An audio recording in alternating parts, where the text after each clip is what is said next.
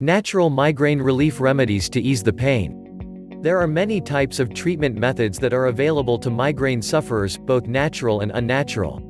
The most common method of treatment is pain relievers that are purchased over the counter and include aspirin, Tylenol, acetaminophen, Motrin, ibuprofen, or a combination of acetaminophen and aspirin. Some migraine headache patients experiencing more severe pain may need prescription medicine.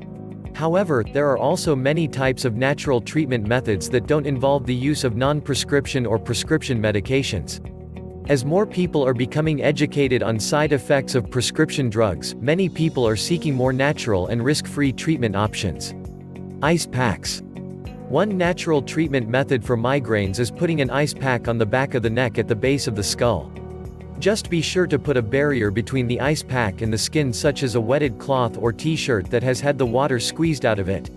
The reason this works for some people is because ice therapy on the back of the neck can lessen the flow of blood to the head. This will result in less pressure in the head. Additionally, it often helps relieve the throbbing pain of a migraine headache. Also, it can also be beneficial to put your feet in a container of warm water at the same time. Doing this will have the effect of attracting the blood to the feet instead of to the head.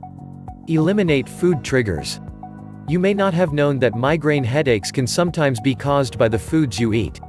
Eliminating these food triggers could help you prevent the onset of a migraine.